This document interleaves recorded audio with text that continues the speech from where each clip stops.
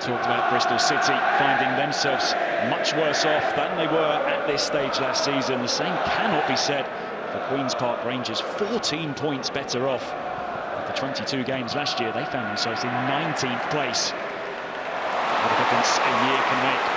Bristol City coming forwards here, up to Semenyo, just inside the area. It'll break on the edge of the box, the strike comes in, and Bristol City take the lead. Just three minutes played. Begun quickly here, Bristol City. They've been on the front foot.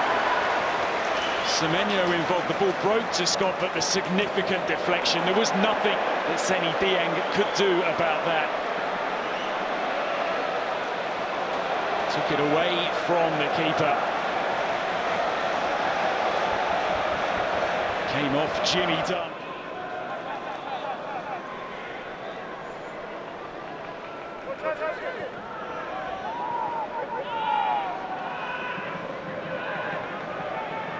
Here's Andy King. Now Vyner. Seven defeats in their last 12 games for Bristol City. An ambitious football club. Not finding the form that they would expect to have. Here's Callum O'Dowda. He's got plenty of time to measure a ball in here. Wonderful effort by Semenyo, denied by Dieng, who had to react sharply. Lovely Bristol City move. Semenyo rolled it to Callum O'Dowda, then continued his run into the penalty area. Look at that for improvisation. Just couldn't quite sneak it inside the front post. Working their way through from that academy into the first team. None that they have higher hopes for than Alex Scott. Cleverly worked around the corner. O'Dowda chopped back inside this time into the QPR area. Again, there's an opportunity for him to cross it. Breaks to Matty James into the ground and pushed high by Dieng. QPR need to get a grip defensively here and they need to keep a lid on Callum O'Dowda. All the problems are coming from this man who's getting the better of Albert Adomah.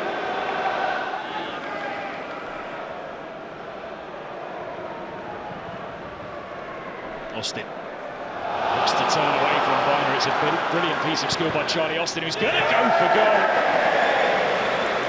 He's always veering away. It's better from Charlie Austin. Lovely piece of skill. Just flicked up off the hand, didn't it, of Zak Vyner, but it fell kindly into the path there of Austin. The move allowed to develop, and he'll be disappointed that he didn't hit the target there, Charlie Austin. He had a long time to line that strike up.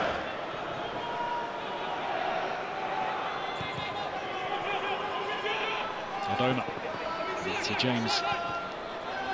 Standing in his way. It's a little bit tight by that corner flag. Ring on Amos and the referee points to the penalty spot. He could not have been better positioned there, Andy Davies. And again, he paused for a moment before pointing to the spot. A yellow card, the least. There's problems here. Take another look. Just barged through Amos. It was a clumsy challenge. Amos just had half a step. And a chance now for Charlie Austin from the spot. Scored 14 of 15 career championship penalties. Now he scored 15. And right at the end of this first half, Queen's Park Rangers draw level. And there will be real frustration from Bristol City that they have allowed this lead to slip deep into first half stoppage time. Austin, cool as ever. Plenty of power and he's winding the crowd up a little right now as he celebrates.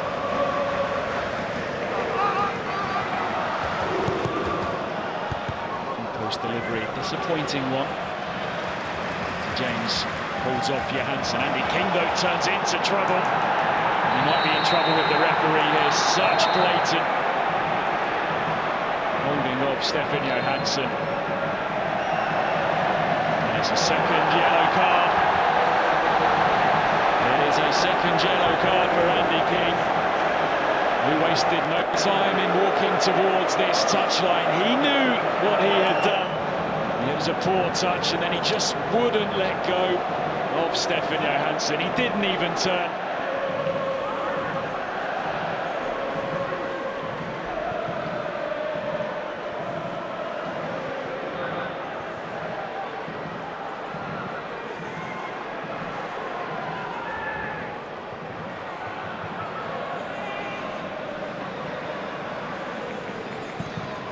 Cross whipped in, it's a dangerous delivery. And On.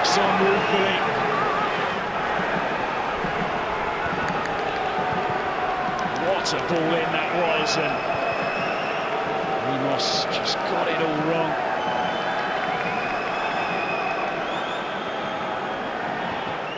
Here's the hard running of Bristol City taking its toll.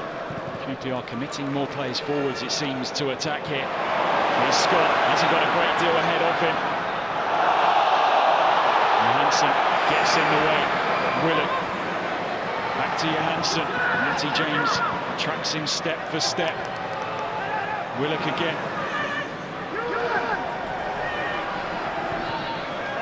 Field, chance to strike here, and it's held on to by O'Leary.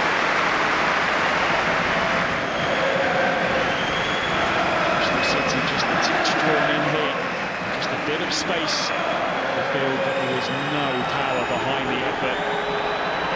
O'Leary taking his time here. It's a point that Charlie Austin was trying to make flicked on. Jonathan gets it back to his keeper. Away by Pring.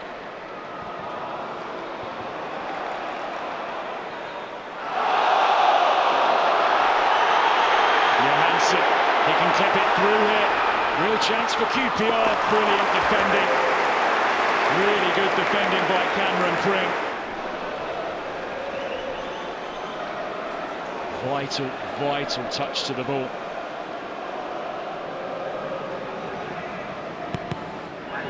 Corner comes in and it's found its way in!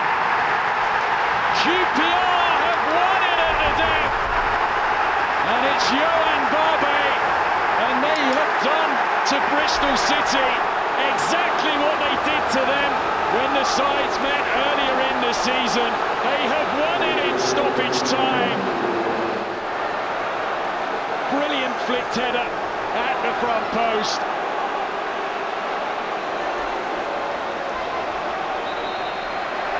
His first goal since the end of August. He was sharpest on the scene at the front post and it was beyond the reach of Max O'Leary. And yet again, Mark Warburton's team shows this strength to come back from a losing position, to pick up all three points. And it's an all too familiar feeling as well for Bristol City.